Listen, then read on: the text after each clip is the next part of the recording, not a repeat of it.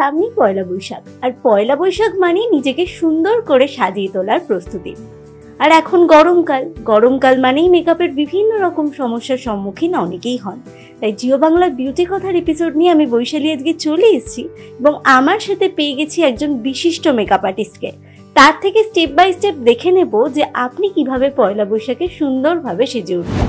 আমাদের সাথে পেয়ে গেছি প্রফেশনাল মেকআপ আর্টিস্ট এবং অ্যারোমা থেরাপিস্ট নিবেদিতা সরকারকে। ওয়েলকাম টু জিও বাংলা নমস্কার জিও বাংলাকে আর সমস্ত দর্শক শ্রোতাদের।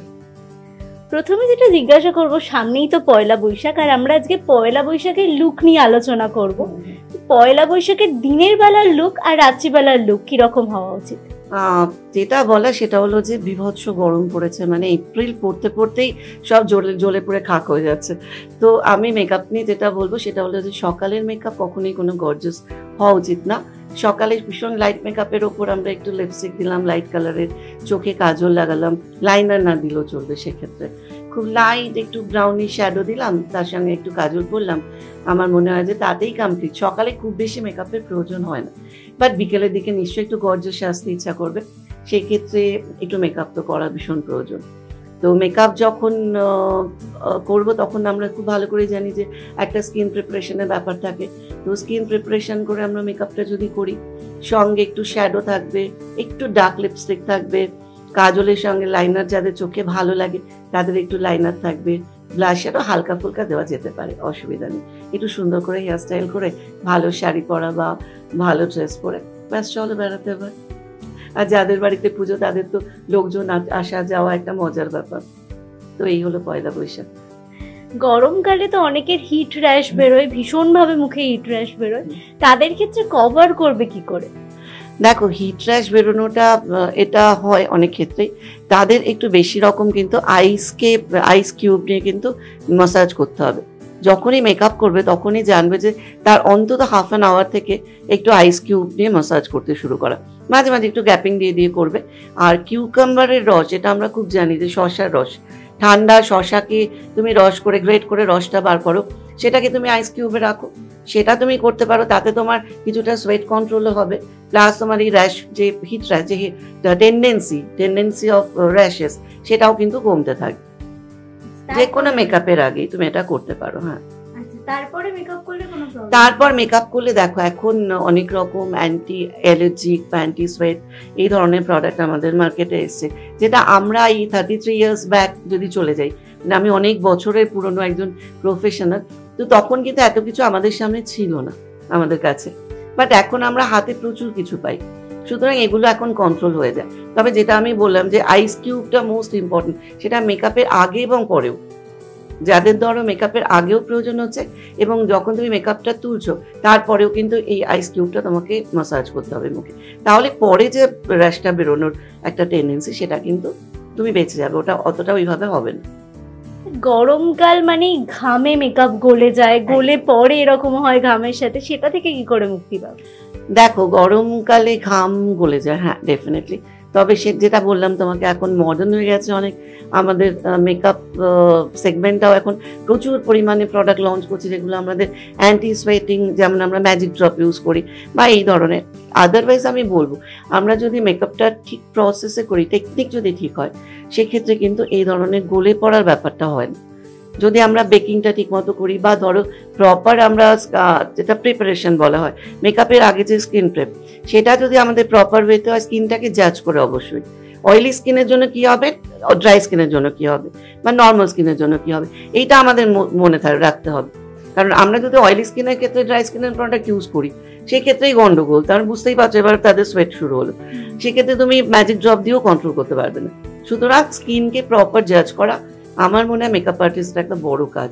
এবং যারা নিজেরা মেকআপ করছ, তারাও নিজেরা কিন্তু বুঝবে এবং জানবে যে আমাদের মেকআপ করছি, আমাদের স্কিনটা এরকম, আমাদের ক্ষেত্রে কি ধরনের স্কিন প্রিপারেশন দরকার যাদের ড্রাই স্কিন তাদের কি ধরনের স্কিন প্রিপারেশন দরকার। এইটা যদি প্রপার ওয়েতে হয়, জানবে যে তুমি বাজিমাত করেছ। মানে মেকআপ ভালো হবে লং স্টেপ করবে সোয়েটিং কম হবে। যে তোমার থেকে তো শুনে নিলাম এবার আমরা দেখে নিই কারণ মেকআপ এমন একটা জিনিস না দেখলে তো হয় না। এবার আমরা দেখে নিই যে কীভাবে তুমি স্টেপ বাই স্টেপ look তৈরি করছ। চলো তাহলে দেখা যাক। আমাদের আজকের মডেল হলো অনুপ্তা ঘোষাল। খুব নামি দামি মডেল কিন্তু আগেই বলে দিচ্ছি। আমি ওকে আজকে একটা পয়লা বৈশাখে ইভিনিং মেকআপ করছি ঠিক আছে? তো ফার্স্ট যেটা করব সব সময় আমরা ফার্স্ট যেটা আমি বললাম যে স্কিন প্রিপারেশনের দিকে ফার্স্ট আমাদের ভীষণভাবে খেয়াল রাখতে হবে। তো ফার্স্ট যেটা আমরা করি সেটা হলো টিস্যু দিয়ে ওয়েট টিস্যু দিয়ে দেখো মুখটাকে ক্লিন করে নেব।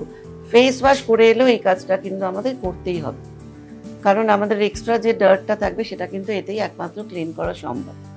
সো আমরা প্রথমে টিস্যু দিয়ে ক্লিন করে নিলাম। এটা হলো ফার্স্ট পার্ট নেক্সট হলো, আমি একটা কথা বলেছি, যাদের স্কিন টাইপ যেমন, সেরকম অনুযায়ী কিন্তু আমরা স্কিন টোনার ইউজ করব। ও স্কিনের নেচার একটু ট্রাই সুতরাং আমি ওকে একটু হাইড্রেটিং স্কিন টোনার ইউজ করছি। এটা স্কিনকে টোনড আপ করছে এবং ভীষণভাবে হাইড্রেশন দেবে। দেখো, আমরা সাফিসিয়েন্ট পরিমাণে কিন্তু স্কিন টোনার দিচ্ছি। আমরা যে রকমই মেকআপ করি না কেন ডে মেকআপ করি, রাত্রে মেকআপ করি, যে কোনো মেকআপের পরে কিন্তু আমাদের জানতে হবে যে আগে আমাদের স্কিন প্রিপারেশনটা মোস্ট ইম্পর্টেন্ট এটার দিকে আমরা ভীষণভাবে ধ্যান দেবো। সেখানে কোনো ফাঁকি নেই, কারণ স্কিন প্রিপারেশন ঠিক মতো না হলে কিন্তু পরে আমাদের স্কিনটা প্যাচি হয়ে যায়। অনেকেই বলে যে খুব ভালো করে মেকআপ করলাম কিন্তু ফাউন্ডেশন ভালো করে বসেনি বা কিছুক্ষণ পরে প্যাচি হয়ে গেছে কিংবা বেশিক্ষণ লাস্ট করেনি, এই কমপ্লেনগুলো থাকে।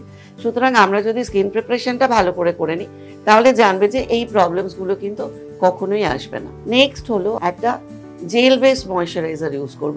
যখনই একটা করে স্টেপ করব, তখনই আমরা স্কিনটাকে ভালো করে ড্রাই করে নেব। যদি আমরা একটার উপর একটা চাপাতে থাকি, তাহলে কিন্তু সেটা প্রপার ওয়েতে তোমাকে ভালো মেকআপের রেজাল্ট দেবে না। নেক্সট আমরা জেল ইউজ করব। দেখো এটা ময়শ্চারাইজিং জেল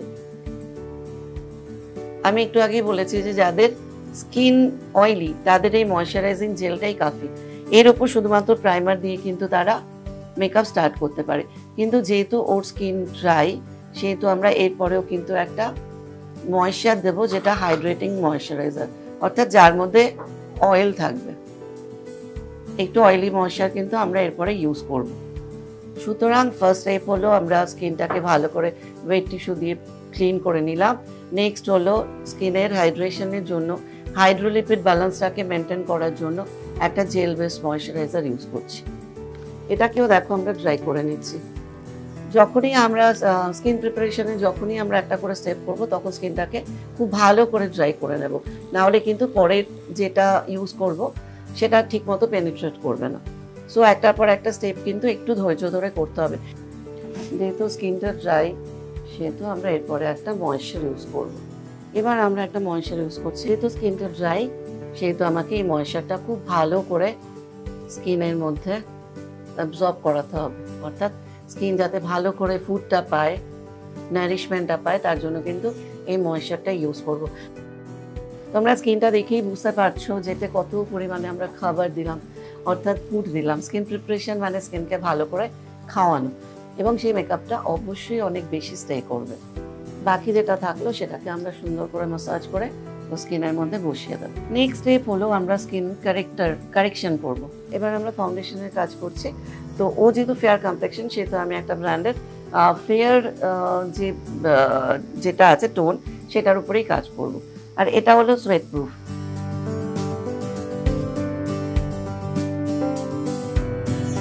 এবার আমরা কন্ট্রোলের কাজ করছি, দেখো।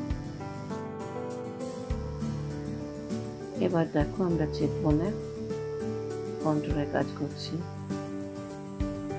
ওর ফোরেড খুব ছোট, তাই আমি ফোরেডে করলাম না কন্ট্রোলের কাজ। খুব স্লাইট হলে করা যায় বাট ওর ফোরেড এমনিতেই খুব ছোট।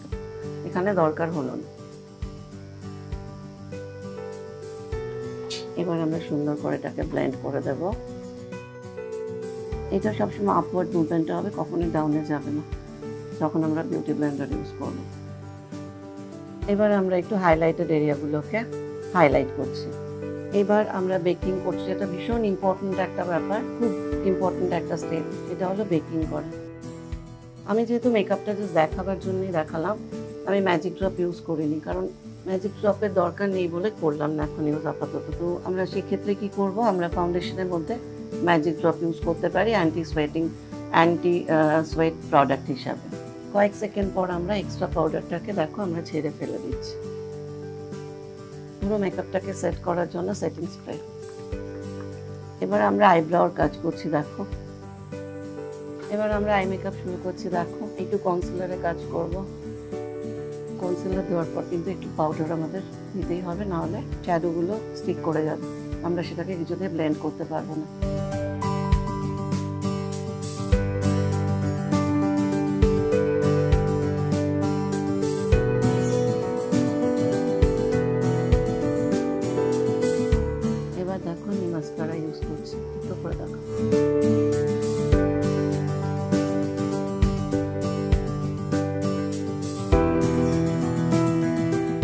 ল্যাশ লাগালাম, দেখো, এবার একটা ছোট্ট বিন্দি।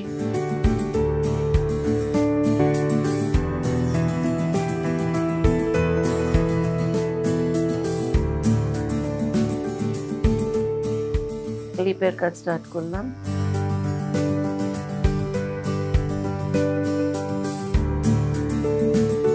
এবার হলো ফিনিশার স্প্রে অ্যান্ড আমার মেকআপ কমপ্লিট কি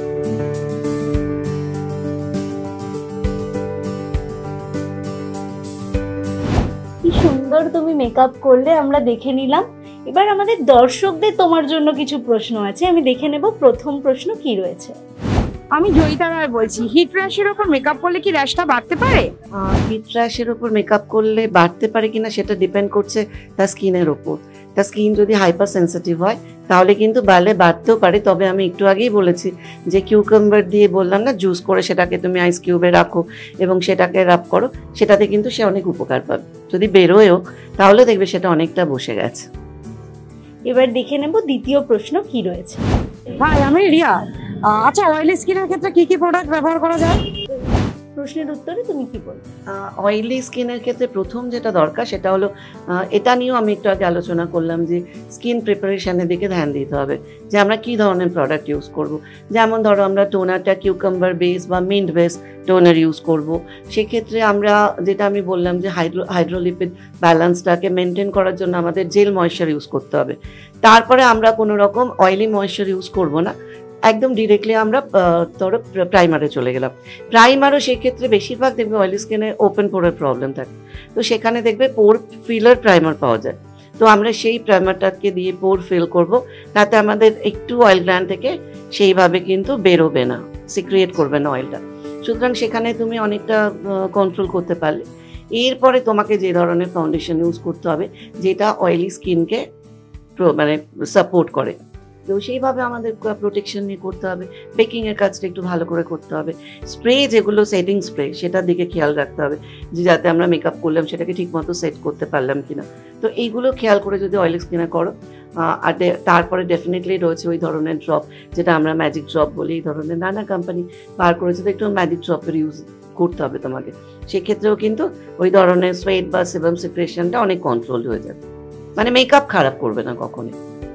থ্যাংক ইউ সো মাচ তুমি খুব সুন্দরভাবে কথা বলো। না এত সুন্দর গুছিয়ে তুমি বললে দর্শকদের বুঝতে কোনো অসুবিধা হবে না। আশা করি চেষ্টা করলাম। সবাইকে বোঝাতে চেষ্টা করলাম। ভালো লাগলে নিশ্চয়ই আমার খুব ভালো লাগবে। আপনাদের কেমন লাগল? আশা করি ভালো লেগেছে। তাও আমাদের কমেন্ট করে জানাতে একদম ভুলবেন না। আর এরকম আরও বিউটি কথার এপিসোড দেখার জন্য প্রত্যেক মঙ্গল এবং বৃহস্পতিবার ঠিক দুপুর তিনটে চোখ রাখতে হবে। চো বাংলা পর্দায়।